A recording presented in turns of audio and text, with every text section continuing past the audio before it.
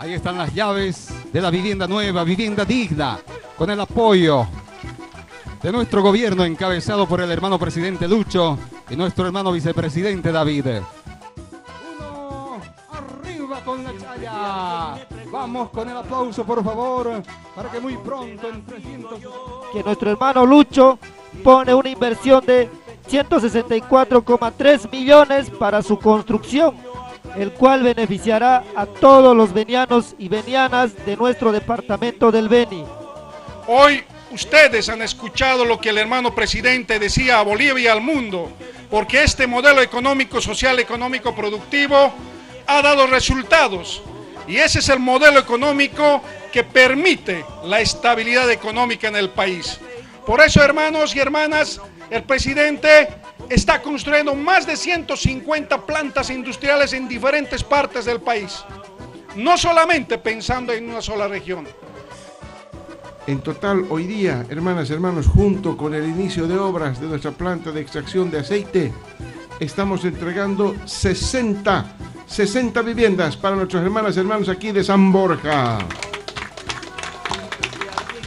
Estamos entregando cuatro sistemas de agua subterránea, pozos de agua, hermanas hermanos, que se ha hecho con el programa Mi Pozo en la comunidad San Miguel, en la comunidad Tres Amigos, en la comunidad San Luis de Naranjani y en la comunidad Flor de Mayo. Todo eso también venimos a entregar hoy en esta visita aquí en San Borja. Y por si fuera poco, hermanas hermanos, también venimos a entregar un elemento fundamental para garantizar el suministro de energía eléctrica. Eso para que tengamos garantizada la energía eléctrica. Y hoy la tecnología nos permite producir nuestro propio diésel y nuestra propia gasolina. Y esa materia prima es el aceite.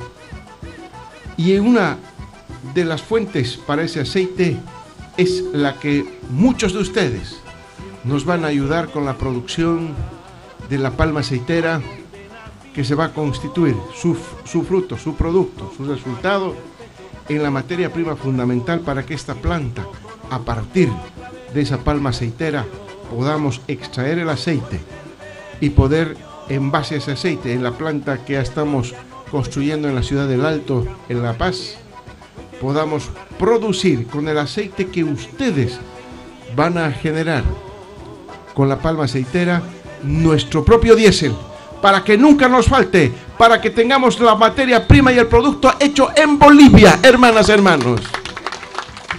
Villa Ingavi tendrá su planta procesadora de aceite de palma